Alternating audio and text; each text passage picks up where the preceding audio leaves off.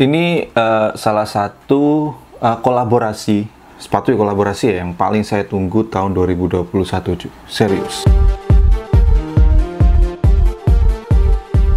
Halo semuanya, balik lagi dengan saya Rivarisman di video kali ini. Uh, terima kasih kepada BIS. Ini adalah salah satu uh, rilisan yang paling saya tunggu ketika tersiar kabar di akhir tahun 2020 kemarin. Ya, saya dapat informasi bahwa BIS akan melakukan kolaborasi lagi dengan grup band setelah mereka sangat sukses dengan Dead Squad sampai merilis dua seri. Yang pertama adalah Dead Sus, yang kedua adalah Dead Sus Redemption. Mereka akan merilis yang kolaborasi dengan uh, The Upstairs. Ya, mohon maaf tapi sebelumnya saya kurang begitu mengikuti musiknya The Upstairs ya karena selera setiap orang kan beda-beda ya cuy. Ini uh, sepatu yang mereka yang paling baru, ini adalah rilisan yang paling saya tunggu-tunggu banget karena memang saya sendiri adalah orang yang paling demen ketika ada sebuah produk, apalagi itu brand lokal, kemudian kolaborasi dengan hal-hal yang berbau musik. Itu saya suka banget terlebih-lebih yaitu sepatu ya cowok apalagi kalau bukan sepatu, game sepatu, game.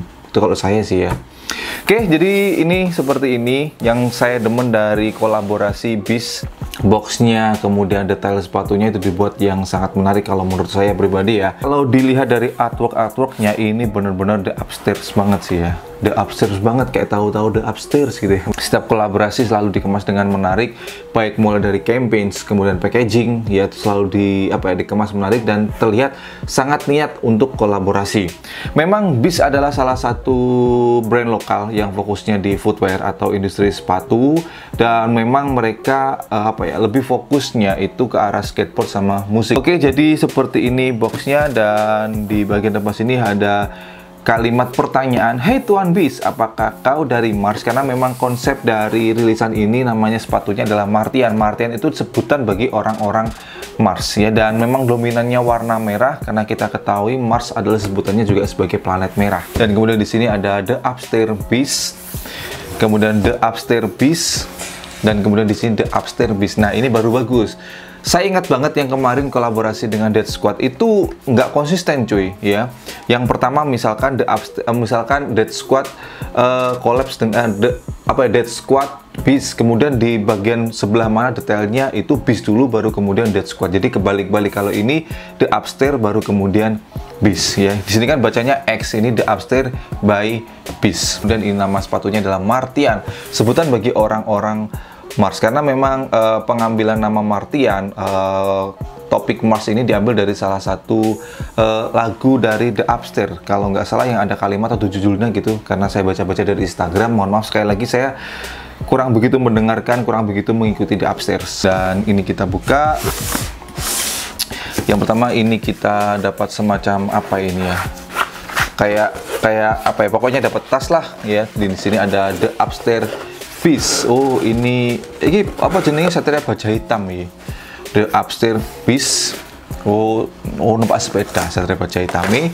Dan kemudian ini newspapernya bis dan ini dia sepatunya yang sangat dinanti-nantikan dan ini lumayan rame banget setelah itu yang kita dapatkan udah nggak ada lagi kalau nggak salah dulu di seri yang Dead Squad itu ada kayak sertifikat autentik itu dan kemudian ada nomor seri dan juga ada tantangannya Om Stevie.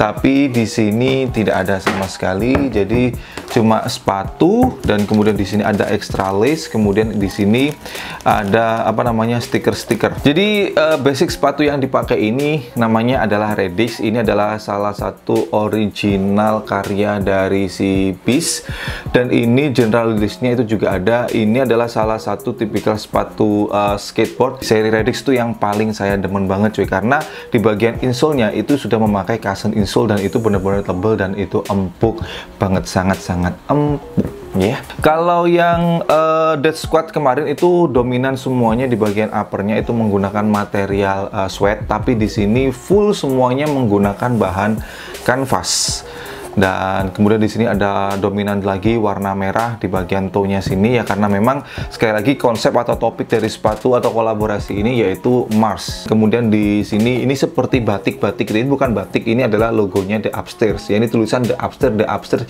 ini lumayan banyak banget di bagian lace guard-nya sini baik sepatu sisi kanan maupun sisi kiri. Di bagian tangnya sini ini uh, sablonan, ini sepertinya sablonnya. Saya kurang tahu ini rubber atau plastisol atau discharge atau apa pun saya kurang tahu. Dan kemudian di bagian belakangnya sini ini juga sablonan lagi the upstairs. Memang mungkin teman-teman apa ya, me, me, kalau misalkan teman-teman punya seri yang kolaborasi dengan Dead Squad kemarin, mungkin teman-teman beranggapan, alah ternyata desainnya monoton gitu-gitu aja, cuma bermain detail sama bermain colorway. Kalau menurut saya pribadi, cuy, penempatan yang Death Squad kemarin kan di sini akan juga ada ya. Kalau menurut saya pribadi ya, karena kembali ke selera masing-masing sih ya. Kalau menurut saya pribadi sih, peletakan nama kolaboratornya di bagian belakang sini tepat banget. Kalau menurut saya ya, karena apa? Kalau misalkan sepatu ini dipajang, dua-duanya atau seluruh kolaborasi nanti misalkan bis mau kolaborasi dengan siapa pun, kemudian kolaboratornya selalu diletakkan di belakang. Kalau misalkan dijajar-jajarkan, kalau misalkan kita apa ya kita koleksi, itu kelihatan keren banget coy. Jadi kelihatan ada identitasnya. Itu kalau menurut saya pribadi ya. Jadi mungkin bagi teman-teman ada yang kurang setuju atau apa ya terlalu monoton lah karena kurang lebih hampir sama dengan desain yang kolaborasi sebelumnya. Kalau menurut saya sih tepat. Jadi punya identitas kalau misalkan dilihat dari belakang itu kalau menurut saya ya.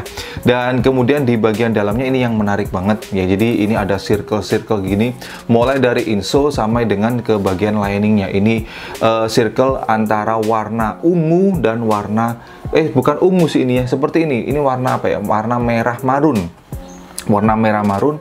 Dan kemudian di sini ada logo apa ya? Bukan logo sih tapi orang di sini kelihatannya sih ikonnya Upster ini kelihatannya sih Om Jimmy. Kelihatannya ya kelihatannya. Karena dari rambut kacamata dan gaya berpakaiannya pegang mawar merah kemudian dicium gini ya ini kelihatannya Om Jimmy. Kelihatannya seperti itu.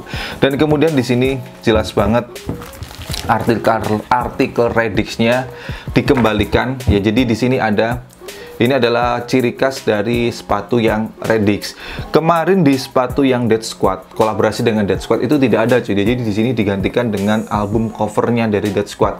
Tapi di kolaborasi dengan Upstairs ini dimunculkan lagi. Jadi ini kelihatan polos. Polos kemudian di sini ada jahitan dan ini adalah logo dari ciri khas karakternya sepatu Redix dan bagian outsole-nya. Nah, ini yang saya suka. Jadi warnanya itu warna-warna kunyit. Ini bukan gam sih, ini gam ya. Ini kunyit sih ya, jadi kuning-kuning murtad. Jadi senada dengan warna garis-garis di bagian lining sama insole dan kemudian sablonan untuk yang warna kuning tambahkan dengan ekstralis yang warna murtad ini. Ya, jadi kuning-kuning mustard master murtad lah ya. Untuk masalah sizingnya di sini saya pakai 42 jadi kalau bis itu saya turun kalau nggak salah size 42 itu 27,5 cm jadi kalau saya itu pakainya down size turun satu nomor.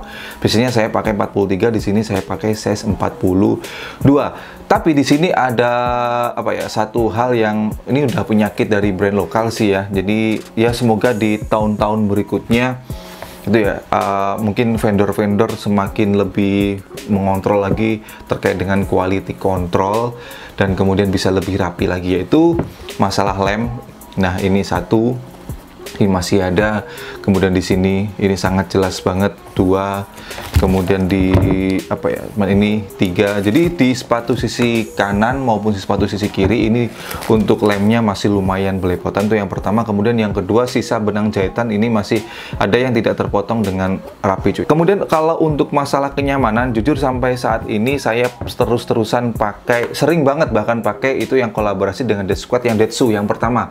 Yang solnya itu putih. Kalau yang hitam saya kurang begitu suka ya saya pas yang hitam putih yang seri yang pertama itu sampai sekarang saya pakai dan Ya seperti yang saya katakan tadi, bis yang seri Redix itu adalah salah satu sepatu yang di kaki saya itu nyaman banget cuy. Insole-nya empuk dan kemudian dengan model-model sepatu skate shoes yang memang saya suka banget sih cuy. Tapi ya itu tadi ya untuk masalah kerapian masih ada sedikit PR. Semoga di next artikel di kolaborasi berikutnya lebih mantep lagi cuy. Baik, segitu dulu untuk video kali ini. Jadi buat teman-teman semuanya, kira-kira nanti tanggal 3 Februari teman-teman bakalan kop atau drop untuk sepatu yang The Upstairs kolaborasi dengan uh, Bis. Bis kolaborasi dengan Upstairs. Kuali-kuali terus coy. Ya, tulis di kolom komentar, tulis aja di kolom komentar di bawah ya cuy. Dan buat teman-teman semuanya selalu dukung, bangga, dan pakai brand lokal karena lokal istimewa. Saya Nori Farisman, thanks for watching, stay positive and your be bright. See you next time. Sorry banget kalau misalkan ngomongnya agak belepotan cuy. Ngantuk cuy. Bye-bye.